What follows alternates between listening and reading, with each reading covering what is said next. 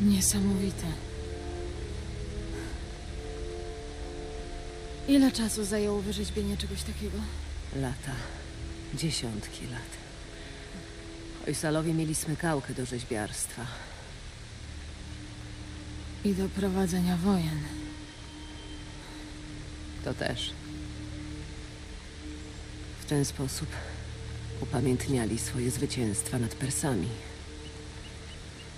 Chyba dzielnie walczyli. Zgadza się. Niestety nie przetrwali. Ale nie ma tego złego, prawda? Znam skądś ten kształt. To rzeźbienie wygląda dokładnie tak samo, jak na dysku. I co to znaczy? Tego jeszcze nie wiem. Ale myślę, że trzeba użyć tej dźwigni.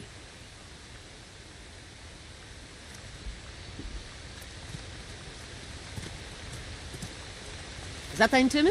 Postaraj się niczego nie powiedzieć. Nie pyskuj. Co jest?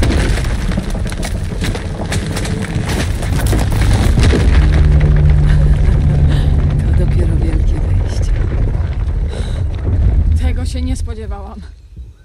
Gotowa? Tak, tylko trochę mnie wcięło.